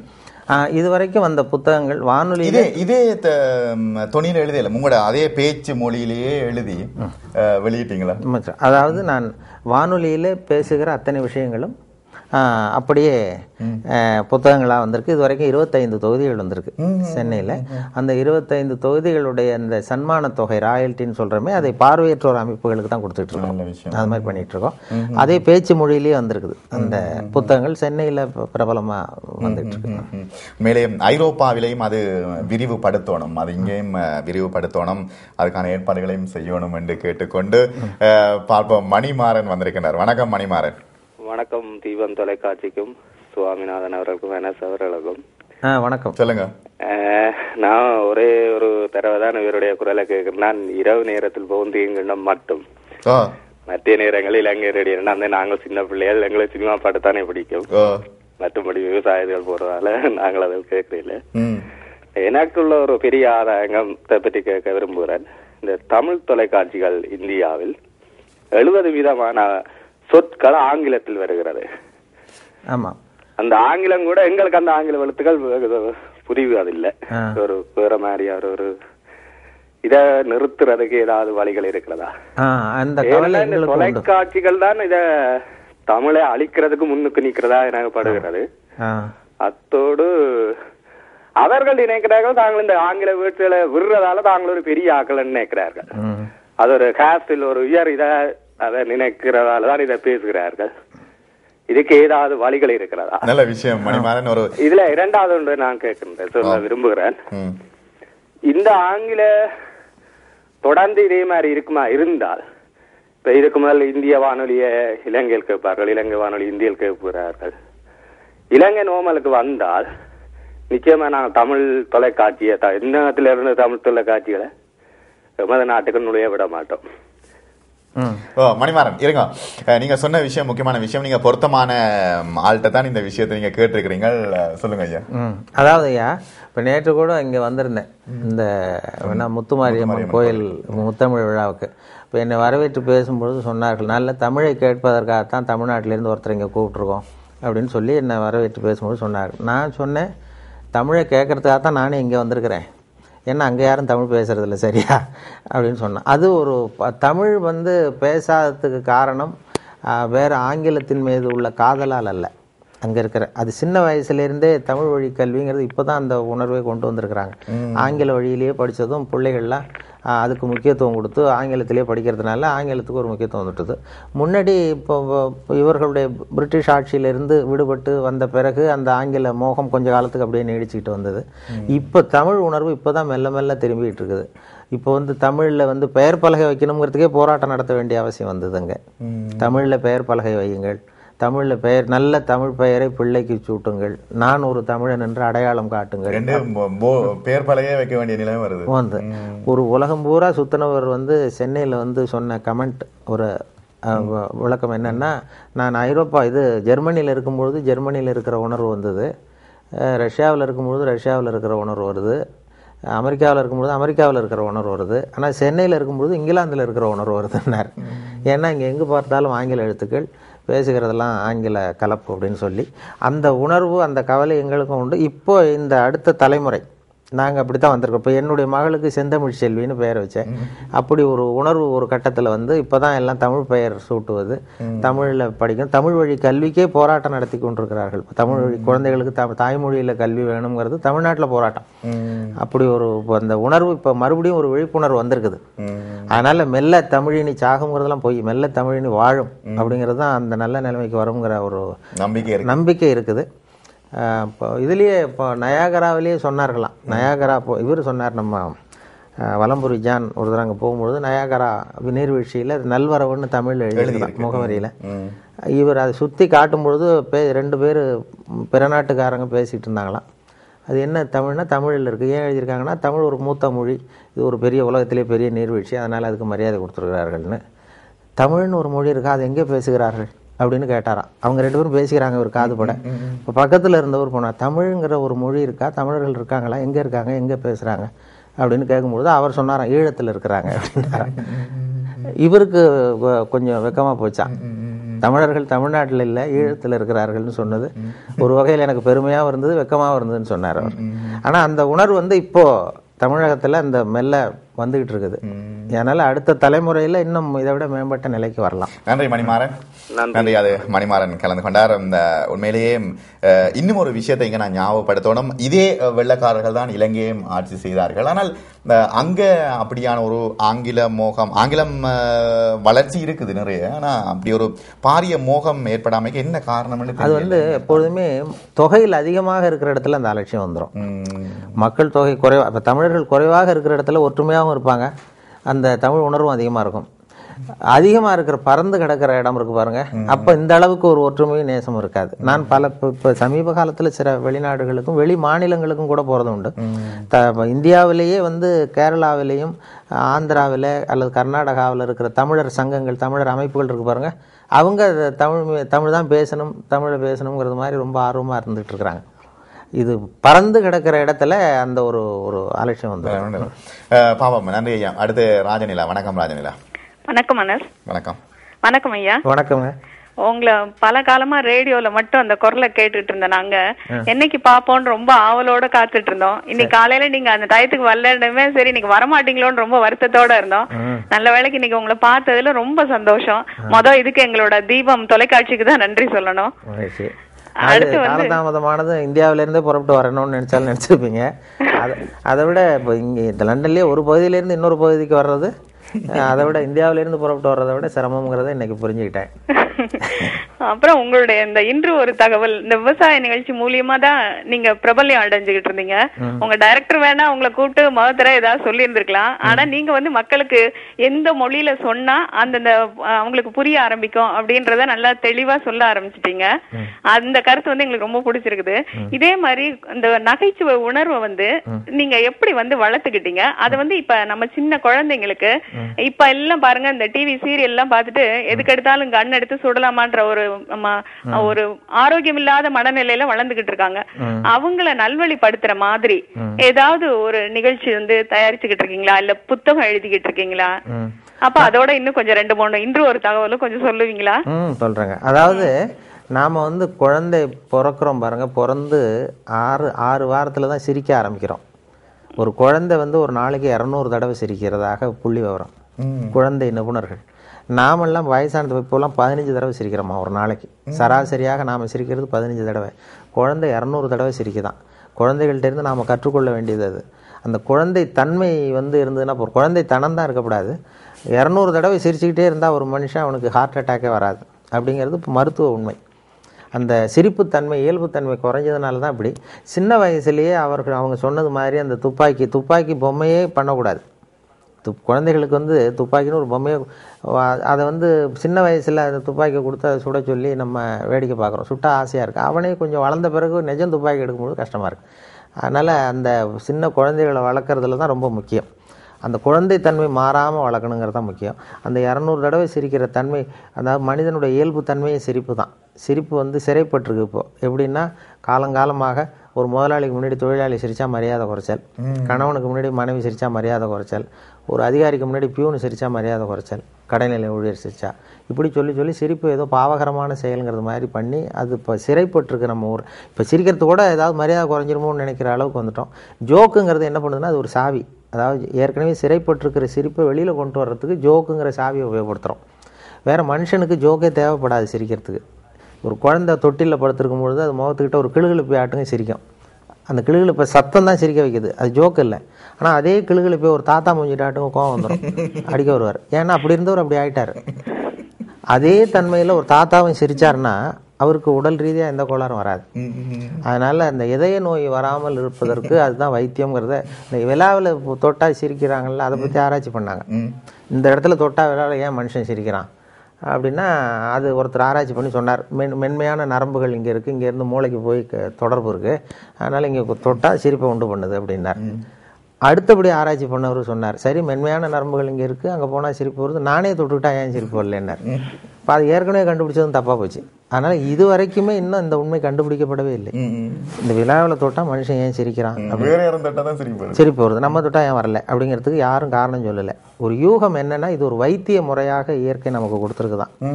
இந்த அக்கு பஞ்சர் அக்கு ப்ரெஷர் இருக்கு இல்லையா. மனுஷனை வந்து இப்படி தொட்டு கிச்சு கிச்சு மூட்டி சிரிக்க வச்சே நோயை குணப்படுத்தலாம். அதனால இது வந்து ஒரு மருத்துவ சென்டர் மெடிக்கல் சென்டர் இது. இந்த விழாங்கிறது ஏதோ ஒரு மருத்துவ மையம். அப்படிங்கிறத இப்போ யோசிக்க ஆரம்பிச்சிருக்கிறாங்க. அதனால இந்த சிரிப்பு தன்மை கெடாமல் இருந்தால் இயல்பு தன்மை மாறாமல் இருந்தால் ஒன்றும் குறையில்லை. ஆனால் மனுஷனை மறுபடியும் குழந்தையாக்க முடியாது. அதை சிரிக்கணுங்கிறதுக்காக. ஆனால் சிரிப்பு கொண்டு வரலாம். அதுக்கு வேடிக்கையாக சொல்கிறது உண்டு. ஒரு ஒரு ஒருத்தர் மாத்திரை கண்டுபிடிச்சாராம். ஒரு ஒரு டாக்டர் ஒரு மாத்திரை சாப்பிட்டா ஒரு வயசு குறையும். அப்படின்னு. ஒரு பாட்டியம்மா போயிருக்கு தொண்ணூறு வயசு. பாட்டி போய் ஒரு பாட்டில் மாத்திரை கொண்டு வாங்கிட்டு வந்து தான் மறுநாள் அதே பாட்டியம்மா முப்பது வயசு பொண்ணா போயிருக்கு அதே டாக்டர்கிட்ட இடுப்பில் கை குழந்தை ஒன்று கட்டவரில் வாயில் வச்சுக்கிட்டு அது பாட்டு உட்காந்துருக்கு ஒரு வயசு குழந்தை. போய் டாக்டர்கிட்ட டாக்டர் நேற்று வந்தேன். நீங்கள் ஒரு ஒரு மாத்திரை சாப்பிட்டா ஒரு வயசு குறையும் நீங்கள் நான் ஏதோ ஆர்வத்தில் ஒரு பாட்டில் வாங்கிட்டு போனால் ஒரு முப்பது மாத்திரையை சாப்பிட்டுட்டேன். இப்படி ஆகிட்டேன் இருக்கு. அப்போ அவர் சொன்னார் இது ஏமா கவலைப்படுற? எல்லாரும் வயசு குறையணும்னு தான் ஆசைப்படுறாங்க. நீ வயசு குறைஞ்சிட்டு சந்தோஷப்படு அப்படின்னு இருக்காரு அப்போ அந்த அம்மா சொல்லிச்சான் பரவாயில்ல டாக்டர் என்னை பற்றி பரவாயில்ல இடுப்பில் பாருங்க கை குழந்தை. இது ரொம்ப ஆர்வத்தில் ஒரு எழுபது மாத்திரையை சாப்பிட்டுட்டு இது என் வீட்டுக்காரர். இது என் வீட்டுக்காரர் உட்காந்துட்டு இறங்க மாட்டேங்கிறாரு. இது எப்படியாவது இறக்கி விடுங்க மாத்திரையை கொடுத்து. அப்படி அப்படின்னாராம். அதனால் அவர் என்னன்னா ஏதோ சம்பந்தமே நமக்கு அதுக்கு சம்மந்தம் இல்லைங்கிறத கட்டாரில் வாயில் வச்சுட்டு அவர் பாட்டு உட்காந்துருக்காரு இது எந்த பாவமும் அறியாத மாதிரி மாத்திரையை சாப்பிட்டு. அதனால் இயற்கைக்கு மாறா நம்ம வயசை குறைச்சாலும் இப்படிப்பட்ட இடைஞ்சல்கள் உண்டு. அது முடியாது. ஆனால் அதுக்கு பதிலாக நம்ம சிரிக்க முடியும். குழந்தைகள் மாதிரி சிரிக்கலாமே தவிர குழந்தைகள் ஆக முடியாது ஒரு நிமிஷம். ஆஹ் இந்த குழந்தைங்களுக்காக நீங்க ஏதாவது புத்தகம் எழுதிக்கிட்டு இருக்கீங்களா? குழந்தைகளுக்கு வந்து அப்பப்போ அங்கே சென்னையில் சில இப்போ நிகழ்ச்சிகளில் கலந்துக்கிறது உண்டு அவங்களுக்கு. அவங்களுடைய இதில் பேசுறது உண்டு. குழந்தைகள் மழலையர் பள்ளியில எல்லாம் போய் அவங்களுக்கு நல்ல கருத்துக்களை சொல்லணும்னு சொல்லுவேன். புத்தகம்னு இது வரைக்கும் எழுதல. சில தகவல்கள் குழந்தை சம்பந்தப்பட்டது ஏதோ சொன்ன ஞாபகம் ஏதோ சொல்லியிருக்கிறோம் அந்தந்த குழந்தைகள் நாளில். மழலையர் பள்ளியில் பேசுறது எனக்கு எப்போதுமே பேசுறதுல அடையாளம் கண்டுபிடிப்பேன். சின்ன குழந்தைகள் அந்த வயசு நான் பேசும்பொழுது மேடையில் எதிரில் உட்காந்துருக்கிறவங்க என்ன வயசுன்னு தான் பார்க்கறது சின்ன மழலையர்கள்னா அவங்களுக்கு எவ்வளோ நேரம் பேசணும்னு நீங்கள் சொன்னது மாதிரி ரொம்ப நேரம் பேச முடியாது. எப்போ முடிச்சுக்கணுங்கிறது தெரியும் அவங்க நடந்துக்கிற செயல்லையே என்ன பண்ணுவாங்கன்னா தரையை கீறுவாங்க. பேசும்பொழுதே ஒரு கட்டத்தில் தரையை கீறுவாங்கல்ல பக்கத்தில் இருக்கிற குழந்தைய குத்துறது வம்பு வளர்க்குறது இப்படி பண்ணால் அவங்க போ அவங்களுக்கு போதும்னு அர்த்தம். அதே மாதிரி கொஞ்சம் பள்ளிக்கூடத்து பசங்கன்னா ஏதாவது கொட்டாவி விடுவான். கல்லூரி மாணவர்கள்லாம் விசில் அடிப்பாங்க யாராவது ஒருத்தர் போதும்னு அடையாளம். எனக்கு ரொம்ப பிடிச்சது இந்த வயசானவங்க இருக்கிறாங்கல்ல சீனியர் சிட்டிசன்ஸ் பென்ஷனர் அசோசியேஷன் ரொம்ப அறுபது எழுபது வயசுக்கு மேலே சில அமைப்புகள் இருக்குது அதில் தான் நான் பாட்டுக்கு பொறுமையாக பேசுவேன். அவங்களும் பொறுமையாக எவ்வளோ நேரம் பேசினாலும் அசையாமல் கேட்டுக்கிட்டு இருப்பாங்க. என்ன காரணம்னா காது கேட்காது. நீங்க அஹ், மன்னிக்கணும் இன்னும் சொல்ல போனா நீங்க சொல்ற மாதிரி இந்த பெரியவங்க உங்களோட கருத்துக்களை வந்து எவ்வளவு விரும்பி கேக்குறாங்களோ அதே மாதிரி குழந்தைங்களும் ரொம்ப விரும்பி கேட்பாங்க. காலையில இந்த இன்று ஒரு தகவல் வந்து இன்னைக்கு சாயந்தரம் என்னம்மா சொன்னாங்க? செங்கச்சி சுவாமிநாதன் அப்படின்னு சொல்லி கேக்குற குழந்தைங்களும் நிறைய இருக்காங்க. ஆமாங்க. அதாவது கதை வடிவம்ங்கிறது ஒரு நல்ல வடிவங்க சொல்கிறத ஒரு கதை மாதிரி சொன்னால் அது சின்ன குழந்தைகள்லேருந்து பெரியவங்களுக்கு வரைக்கும் அதில் ஒரு இது இருக்குது இப்போ சாதாரண விஷயத்தையும் உங்ககிட்ட சொல்கிறேன் அது அது சொல்கிறதுக்கு முன்னாடி அந்த விஷயம் என்ன தெரியுமா? அப்படின்னு ஒரு கேள்வி கேட்குறேன்னா ஆ அப்புறம் அப்படின்னு உங்களுக்கு தோணும். அது அந்த அந்த விநியோக முறை இருக்கே. அது ஒரு நல்லது. குழந்தை அது அந்த கதை வடிவம்ங்கிறது அன்னைக்கு என்னாச்சு தெரியுமா? அப்படின்னு சொல்லிடுறீங்க. சும்மா ஒரு கேள்வி போட்டுறீங்க நேரடியாக அன்னைக்கு என்ன ஆச்சுங்கிறத சொல்கிறதுக்கு முன்னாடி அன்னைக்கு என்ன ஆயிட்டுது தெரியுமோ? அப்படின்னதும் ஆ என்னாச்சு அப்படிம்பாங்க. அந்த ஆர்வத்தை தூண்டுகிற மாதிரி இருக்கணுங்கிறது தான் கதை வடிவத்தில். ஒரு ஒரு சார் இதுலேயே ஒரு பொரு கண்காட்சி சாலையிலேயே ஒருத்தர் நோட்டீஸ் கொடுத்துக்கிட்டே இருந்தார். அது வர்றவங்க எல்லாம் வாங்கி வாங்கி தூக்கி போட்டே போவாங்க. நம்மளும் அதுதானே செய்வோம். அந்த சில கண் பொருட்காட்சியில் அந்த நோட்டீஸ் வழியில் கொடுக்குறாங்க பாருங்க. அப்படி வாங்கி வாங்கி ஏதோ பா- பாறைக்கு வாங்கி தூக்கி போட்டுரும். அவரே என்ன பண்ணாராம் அதை சுருட்டி சுருட்டி கொடுத்தாராம். பிரித்து பார்க்க ஆரம்பிச்சாங்களாம். சும்மா கொடுக்கும்போது தூக்கி போட்டாங்க. அதே நோட்டீஸ் அப்படி சுருட்டி கசை கொடுக்கும்போது பிரித்து என்னதான் இருக்குன்னு பார்த்துட்டு அப்புறம் கீழே போட்டாங்களாம். அது நாம கொடுக்க வேண்டிய முறை வந்து அப்படி கொஞ்சம் கொஞ்சம் அப்படி சுருக்கி கொடுக்கறது மாதிரி தான் அது கதை வடிவம். நன்றி ராஜநிலா. நன்றிங்க. நன்றி. நன்றி. ஆ, ராஜநிலா கலந்து கொண்டார். நேர்கள் தென்கட்சி சுவாமிநாதன் அவர்களோடு கலந்துரையாட நீங்கள் அழைக்க வேண்டிய தொலைபேசி இலக்கம் சைபர் சைபர் நாற்பத்தி நான்கு இரண்டு சைபர் எட்டு எட்டு ஒன்று நான்கு ஆறு ஐந்து ஐந்து ஐந்து என்பதாகும். நல்லது அடுத்து தேவதாசன் தேவநேசன். வணக்கம் தேவநேசன். தேவநேசன் இல்ல தவநேசன். தவநேசன். சொல்லுங்க. வணக்கம். நான் இவ் தென்கட்சி அவர்களுடைய நிகழ்ச்சியை அதாவது வந்து எனது அறிவு கட்டிய காலந்திலக்கம் எங்க எங்களது வீட்டில் வானொலி கேட்க தொடங்கிய காலந்திலக்கம் அந்த இன்று ஒரு தகவல் நான் கேட்டு வந்திருக்கிறேன். இப்பொழுது தற்பொழுது நான் லண்டனில் இருக்கிறேன். அந்த அந்த நேரங்களில் அது ஒரு உண்மையிலேயே எங்களுக்கு ஒரு ஒரு ஆர்வத்தை ஏற்படுத்தின அந்த நிகழ்ச்சி. எனக்கும் இந்த வானொலி தொலைக்காட்சி இதெல்ல அந்த அறிவிப்பாளரை செய்தி வாசிக்கிற இதுகளுக்கு பயங்கர ஒரு ஆர்வம் இருக்குது எப்படி வளர்த்து கொள்றது என்ன மாதிரி என்னடா, ஏன்டா எனக்கு இருக்கு ஃப்ரெண்ட்ஸுகளும் அதை எனக்கு என்கரேஜ் பண்ணி நம்ம சொன்னா என்னோட கதை கேட்க நான் அதை பகுதியா கதைக்கிறது கொள்றது மற்ற ஒரு மற்ற அஹ், இருக்க பட்டிமன்றங்கள் பேச்சுல கொஞ்சம் ஈடுபட்டிருக்கிறேன். அப்ப அதை இதன்ற அதை எப்படி வளர்த்து கொள்றேன்னு சொல்லி எனக்கு தெரியல. அதுக்கு எனக்கு ஒரு அட்வைஸ் அதாவது வந்து ஒரு அறிவுரை தருமாறு கேட்கிறேன். வானொலியில் பேசுறதுக்கு சொல்றது தெளிவாக பேசணுங்கிறது ஒன்று கேட்குறவங்களுக்கு புரியணுங்கிறது ஒன்று தேவையில்லாமல் வளர்த்தக்கூடாது. அதுதான் இது பண்ணியிருக்கிறாங்க. சென்னை வானொலி தொடங்கி அதுக்கு ஒரு உதாரணம் சொல்கிறேனே சென்னை வானொலி தொடங்கி ஆறாவது நாள் பேராசிரியர் கல்கி வந்து பேசினார். கல்கி எழுத்தார் அவர் வந்து பேசும் தமிழில் சிறுகதை அப்படிங்கிறது தலைப்பு. அதுக்கு அவர் சொல்லியிருக்கிற இப்போ பதில் வந்து இப்போ நம்ம நண்பருடைய கேள்விக்கு பதிலாக இருக்கும். எப்படி ஒருத்தர் எழுதணும் அல்லது பேசணுங்கிறதுக்கு சொல்லியிருக்காரு. அதுதான் சொன்னேன் அந்த சிறுகதைங்கிறதுல சிறுன்னு இருக்கு கதைன்னு ரெண்டு வார்த்தை இருக்கு. அதுதான் சிறுகதை. கதைன்னா கதை அம்சம் இருக்கணும். ஒரே ஒரு ஊரில் அப்படின்னு ஆரம்பிச்சா சரி அப்புறம் என்ன அப்படின்னு கேட்க தோணும். அப்படி ஒவ்வொரு வரையும் இருக்கணும் அதில் கதை. சிறுன்னா தேவைக்கு அதிகமாக பெருசாக போகக்கூடாது. சிறுசாக இருக்கணும். தேவைக்கு அதிகமாக வார்த்தைகளை உபயோகப்படுத்தாதே அப்படின்னு சொல்கிறாங்க சிறுங்கிறது அவர் ஒரு உதாரணம் கொடுத்துருந்தார். எப்படின்னா ஒரு நாள் காஞ்சிபுரம் உபய வேதாந்த தேசிகர் தம் வீட்டு வேலைக்காரன் குப்பனை கூப்பிட்டு அடே குப்பா நீ உடனே ஸ்ரீபெரும்புதூர் ஓடி போய் திருவேங்கடாச்சாரியிடம் திருக்குழந்தையிலிருந்து இங்கே வந்திருக்கிற திருநாராயண ஐயங்கார் சுவாமிகள் திருக்கோயில் ஆராதனைக்கு திருத்துழா எடுத்து திரும்புகையில் திருக்குளத்தில் திருப்பாசி வழுக்கி விழவே திருவடி தவறி விழுந்தார் என்று சொல்லிவிட்டு வா. அப்படின்னு சொல்றாரு வேலைக்காரன் குப்பன்ட்ட. சொல்லிவிட்டு என்னப்பா புரிஞ்சுக்கிட்டியா நான் சொன்னதேன்னு புரிஞ்சுக்கிட்டேன் சாமின்னு இருக்கான் வேலைக்காரன் கரெக்டாக போய் சொல்லுவியா? வைஷ்ணவ பரிபாஷை புரியுதான்னு பார்க்குறேன். நான் சொன்னதை போய் அவர்கிட்ட சொல்லுவேன் சொல்லிடுறேன் சாமின்றேன் என்ன சொல்லுவேன் ஒன்றும் இல்லை கும்மோனத்தா சாமி குட்டையில் ஒன்று தானே சொல்லணும் அவ்வளோதானே சொல்லிடுறேன்றான். இதுதான் சிறுகதை எழுத்தாளருக்கும் அறிவிப்பாளருக்கும் இருக்க வேண்டிய தகுதியா? நான் முன்னாடி சொன்னேனே அதை இவ்வளவு சுருக்கமாக சொல்லணும் கும்மோனத்தா சாமி குட்டையில் ஒன்று அது மாதிரி தேவையில்லாமல் வளர்த்தக்கூடாது. தெளிவாக இருக்கணுங்கிறது தான் சித்தர்களுக்கும் நமக்கும் அதுதான் வித்தியாசம். சித்தர்கள் வந்து குழப்பமா பேசி தெளிவுபடுத்துவார்கள். அதே மாதிரி பேச்சாளர்கள் தெளிவாக பேசி குழப்புறவங்க ஒரு குரூப் இருக்கு. அது மாதிரி இருக்கக்கூடாது. நாம் தெளிவாக இருக்கணும் தெளிவாக பேசணும். சித்தர் ஒரு சித்தருக்கு வந்து அறிவிப்பாளராக வந்து உட்கார வச்சிடறோம்னு வைங்களேன். இந்த என்ன நிலைமை? என்ன நிலைமை அப்படின்னா இப்பொழுது நேரம் சரியாக அப்படின்னு சொல்லி நாம சொல்லிடுவோம் இப்பொழுது நாம் நேரம் சரியாக பத்து மணி இருபத்தி ரெண்டு நிமிஷம்னா ஒரு அறிவிப்பாளருங்கிற முறையில் நான் சொல்லிடுவேன் எனக்கு பதிலாக ஒரு சித்தரை கொண்டு வந்து உட்கார வச்சிங்கன்னா அவர் என்ன சொல்வார் தெரியுமா? இப்பொழுது நேரம் சரியாக மூன்றை முப்பதால் பெருக்கி பதினைந்தால் வகுத்து பாதியை நீக்கி விட்டு பாருங்கள் புரியும். அப்படிம்பார் இப்போ நீங்கள் கணக்கு போடணும். மூணு முப்பதால் பிறகு சொன்னார். அப்படின்னா மூணு ஒம்பது தொண்ணூறு. பதினஞ்சால வகுக்க சொன்னார். பதினஞ்சு ஆறு தொண்ணூறு ஆறு. பாதியை நீக்க சொன்னார். ஆறில் பாதியை நீக்கினா மூணு. இதுதான் ஆரம்பத்திலேயே சொல்லியிருக்கார். மூணுன்னு தான் ஆரம்பிச்சிருக்காரு. கடைசியிலேயே மூணில் தான் முடிக்கிறார். அப்படி சுற்றி வளைச்சி சொல்லக்கூடாது. இதுதான் அறிவிப்பாளருக்கான தகுதி. நண்பர் கேட்டதுக்கு பயிற்சி தான். பேசுவதற்கு நல்ல பேச்சு பயிற்சி நல்ல சத்தம் போட்டு படித்து பழகணும். தேவையில்லாமல் வளர்த்தக்கூடாதுங்கிறது தான் முக்கியம். நன்றி. நன்றி தவணேசன் அது தவணேசன் கலந்து கொண்டார். இன்னும் ஐந்து ஆறு நிமிடங்கள் பாக்கி இருக்கின்றன. சுவாரஸ்யமாக இருக்கிறது. இந்த இடத்திலே ஒரு தகவலை நாம் நேர்களுக்கு அறிய தருகின்றோம். இன்று ஒரு தகவல் நிகழ்ச்சி. இனிமேல் தீபத்தில் தொடர்ந்து ஒளிபரப்பாகும் என்பதை நாம் நேர்களுக்கு அஹ், மகிழ்ச்சியோடும் அறிய தருகின்றோம் இந்த சந்தர்ப்பத்தில். ஓஹோ. அது எனக்கும் ஒரு தகவல் தான் இப்பொழுது நீங்கள் சொல்லுவது. நல்லது. அடுத்து திருமதி ஜெயக்குமார். வணக்கம் திருமதி ஜெயக்குமார். வணக்கம். சொல்லுங்க. வணக்கம். வணக்கம் ஐயா. வணக்கம்ங்க. நான் சமீபத்தில் கடந்த வருடம் தமிழ்நாட்டுக்கு போயிருந்தேன். அங்கு நான் ஊட்டி பக்கம் போன பொழுது அது உதகமண்டல மாநகராட்சி பக்கம் போன பொழுது தமிழ் பலகைகள் மிகவும் அழகான தமிழில் மிகவும் வடிவாக எழுதப்பட்டிருந்தது. அங்கு தமிழுக்கு முக்கியத்துவம் கொடுத்து தமிழை மிகவும் அழகாக எழுதியிருந்தார்கள். உதாரணமாக ஹிடின் கோண ஹூத்த ஹோன் என்பதற்கு மறைவிட திருப்பம் ஒலி ஒலிக்கவும் என்று எழுதியிருந்தார்கள். அதே மாதிரி பார்மசி என்ற மருந்தகம் ரெஸ்டாரண்ட் என்ற உணவகம் அப்படியெல்லாம் அதுக்கு முதன்மை கொடுத்து அது அதில் இருந்தார்கள். அதே நேரத்தில் நான் சென்னைக்கு சென்னையில் பார்த்தபோது தமிழ் மிகவும் அவர்களுடைய இந்த எழுத்து வடிவமைப்பே வாசிக்க கஷ்டமாகவும் தமிழ் மொழிபெயர்ப்பும் ஆஹ், மிகவும் ஒரு கஷ்டமான நிலையில் இருந்தது. இதை பற்றி உங்களுடைய பேச்சுக்களில் இதை பற்றி சொல்லலாம் தானே?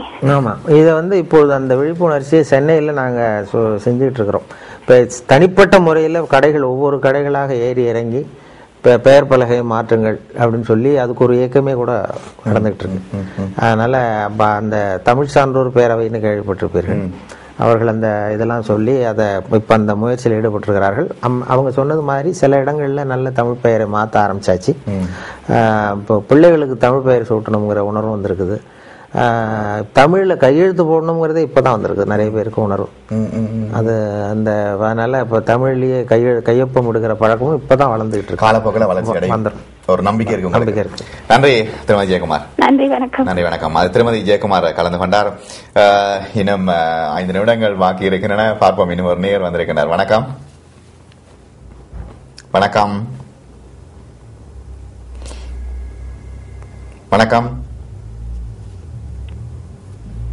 வணக்கம். வணக்கம். யார் கேக்குறீங்க ரஜினி ஜெர்மனில இருந்து சொல்லுங்க கதைக்கிறேன் ரஜினி வணக்கம் சுவாமிநாதன் ஐயா நான் உங்களுடைய உங்களுடைய வித்தியாசமான ஒரு திறமையை நீங்கள் வானொலி மூலம் எல்லாருக்கும் அளித்திருக்கின்றீர்கள். நான் இலங்கை கூட உங்களோட நிகழ்ச்சியை கேட்டிருக்கின்றேன். இந்தியாவில் கூட கேட்ட ஞாபகம் உண்டு. இப்படி ஒரு திறமையை நீங்க வளர்க்க வேண்டும் என்று உங்களுக்கு எப்படி எப்படி தோன்றிட்டது? மற்றது நீங்கள் எப்படி வானொலியில் அறி- அறிமுகப்படுத்தினீர்கள்? உங்களுடைய அனுபவங்களை கொஞ்சம் பரிமாற முடியுமா? நான் வந்து படிச்சது விவசாய படிப்புங்க பிஎஸ்சி அக்ரிகல்ச்சர் அதனால விவசாய ஒலிபரப்பு துறைக்குன்னு ஆள் கேட்டாங்க வானொலியில். அது சுலபமாக கிடைச்சது. விவசாயம் படிச்சவரா இருக்கணும் விவசாயத்தில் அனுபவம் உள்ளவராக இருக்கணும்னு கேட்டாங்க. இன்டர்வியூலையும் அந்த நேர்காணல்லையும் நீ விவசாயமே பண்ணிட்டு இருக்கிற அதை பற்றி சொல்கிற உத்தியோகத்துக்கு எதுக்கு வந்தேன்னு கேட்டாங்க. ஏற்கனவே விவசாயம் செய்து கொண்டிருக்கிறேன் நீ விவசாயத்தை பற்றி சொல்லுகிற உத்தியோகத்துக்கு எதுக்கு வந்தேன்? இப்போ நான் சொன்னேன் விவசாயம் என்பது செய்வதை விட சொல்லுவது சுலபம் சார். அதனால் வந்தேன் அப்படின்னு. சரி இப்படி சுலபமாக காலம் தள்ளுற ஆள் தான் வேணும்னு கே நினச்சாங்களே சுலபமாக கிடைச்சிது அந்த இது. பேச்சு திறமைங்கிறது வானொலிக்கு சேர்ந்த பிறகு அப்படி கொஞ்சம் கொஞ்சம் பழக்கத்தில் எந்த திறமையும் பழக்கத்தில் வந்துடும் அதனால் அப்படி பழக்கத்தில் வளர்த்து கொண்டது தான் அதனால் இப்படி வந்தது தான் எதிர்பாராமல் தான். ஒன்றும் திட்டம் போட்டு எதையும் செய்யலை. நான் படிக்கணும்னு நினச்சது டாக்டராக பார்க்கணும்னு நினச்சேன். ஆனால் எங்கள் வீட்டில் கட்டாயமாக விவசாய படிப்பு ஏற்றுட்டாங்க டாக்டர் ஆகலைங்கிற வருத்தம் எனக்கு உண்டு. இருந்தாலும் ஒரு பக்கம் சந்தோஷம். இன்றைக்கி நிறைய பேர் உயிரோடு இருக்கிறதுக்கு நாம தான் காரணம். ஒரு கால் டாக்டர் ஆயிருந்தா நம்ம நம்மளால் எத்தனையோ பேர் தியா- உயிர் தியாகம் பண்ண வேண்டிய அவசியம் ஏற்பட்டிருக்கலாம். அப்படி ஒரு திருப்தி அடைய வேண்டியது தான் நன்றி. நன்றி. நன்றி வணக்கம் ரஜினி. அது ரஜினி கலந்து கொண்டார். நல்லது இவ்வளவு நேரமும் தென்கட்சி சுவாமிநாதன் அவர்களோடு ஒரு நீண்ட ஒரு நகைச்சுவை கலந்த ஒரு சுமார் ஒரு மணித்தியால உரையாடலை நாம் நிகழ்த்தி இருந்தோம் பல நேர்கள் இன்னும் எங்களுக்கு இங்கே தொலைபேசி அழைப்பிலே காத்திருக்கிறார்கள். சில நேர கட்டுப்பாடு வானொலி தொலைக்காட்சி இருக்கு இல்லையா ஐயா இந்த இடத்துல இன்னும் ஒரு சுவாரஸ்யமான தகவலோடு உங்களுடைய தகவலை கேட்க கேட்க ம், விருப்பமாவே இருந்து கொண்டிருக்குது இன்னும் ஒரு சுவாரஸ்யமான தகவலோடு நாம் இன்றைய நிகழ்ச்சியை நாம் நிறைவு செய்து கொள்வோம். அதோடு இன்று ஒரு தகவல் நிகழ்ச்சி இனிமேல் தீபத்தில் தொடர்ந்து ஒளிபரப்பாகும் என்பதை நாம் நேர்களுக்கு அறிய தருகின்றோம். இப்பொழுது தகவல். தகவல் சொல்லணும். இன்று ஒரு தகவல் அதாவது இப்போ எனக்கு வா வானொலியில் வேலை கிடைச்சி உனக்கு சின்ன வயசுலேயே உனக்கு ரேடியோவில் வேலை கிடைக்கும்னு சொன்னார் எங்கள் ஊரில் பெரியவர் ஒருத்தர். எப்படியா? அப்படின்னு தீர்க்க தரிசனம்னா இல்லை சின்ன வயசுலேயே நீ பொய்யை கூட நிஜ மாதிரி சொல்லுவேன் ஓ அப்படி உனக்கு ரேடியோவில் வேலை கிடைக்கும்னு சொல்லி கிண்டல் பண்ணுறது உண்டு. ஆனால் இப்போ வானொலியில் பொய் சொல்லுவதில்லை உண்மையை மறைக்கிறது உண்டு. ஏன்னா ஒரு கலவரம் ரெண்டு ஜாதி கலவரம்னா எந்த ஜாதிங்கிற உண்மையை மறைக்கணும். அது சமூக நோக்கத்தோட. அப்படி செய்ய போய் அதனுடைய விளைவு என்னாச்சுன்னா கடவுள்கிட்டே போய் புகார் பண்ணாங்களாம். பூலோகத்தில் நிறைய பேர் போய் சொல்கிறான் உன்னோட நீ படைத்த மனிதர்கள் அப்படின்னு கடவுள்கிட்ட புகார் சொன்னாங்க. உடனே கடவுள் சொன்னார் என்னை யாரும் ஏமாற்ற முடியாது. இங்கே பாரு ஒரு பெரிய பிரம்மாண்டமான சுவர் அப்படின்னு காட்டினார். அங்கே லட்சக்கணக்கான பல்பு சொல்லியிருக்கு எலக்ட்ரிக் பல்பு மின்சார பல்புகள். கடவுள் சொல்கிறார் புகார் சொன்னவன்ட்ட யார் பூலோகத்தில் எந்த ஏரியாவில் எவ்வளவு பொய் சொன்னாலும் உடனே விளக்கு எரியும்.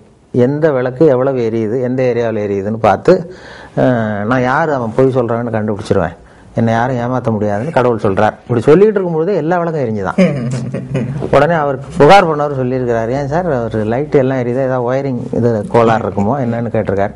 அப்போ கடவுள் சொன்னாராம் இல்லை இல்லை இப்படி தான் எரியும் கொஞ்ச நேரம். ஏன்னா இப்போ ரேடியோவில் இன்று ஒரு தகவல் போயிட்டு இருக்கு ஒரு அஞ்சு நிமிஷத்தில் சரியாயிடும். அப்படின்னாரா அதே போல் அஞ்சு நிமிஷத்தில் அது சரியாயிட்டதாக சொன்னாங்க. நன்றி ஐயா இவ்வளவு நேரமும் நகைச்சியோடு மிக முக்கியமான விஷயங்களை நாம் கலந்து பேசினோம். இந்த இடத்துல நிலைய கழகத்திற்கு வந்து இந்த செவியை வழங்கியமைக்கு உங்களுக்கு நேர்கள் சார்பாகவும் அஹ், நிலையம் சார்பாகவும் உங்களுக்கு நன்றி தெரிவிக்கின்றோம். நன்றி ஐயா. நன்றி.